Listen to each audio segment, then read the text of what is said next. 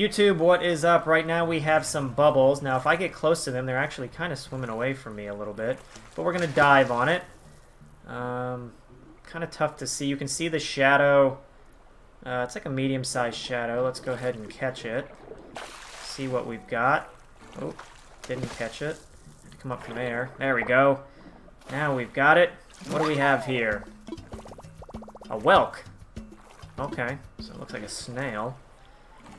So I don't know if you all noticed, but the bubbles were swimming away from me when I swam up near it.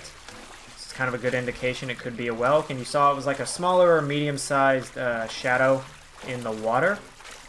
But uh, let me go ahead. Let's get to a little shallower water here. And uh, let's open up this Critterpedia.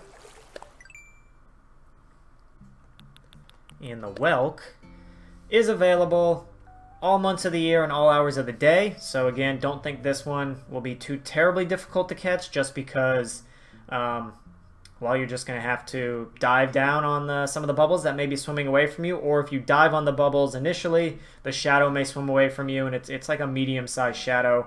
Um, so I don't think it'll be too bad to catch, but, you know, let me know down in the comments if you've caught one. That's really going to be the best way that we can figure out how difficult some of these critters are to catch since this is the brand new update.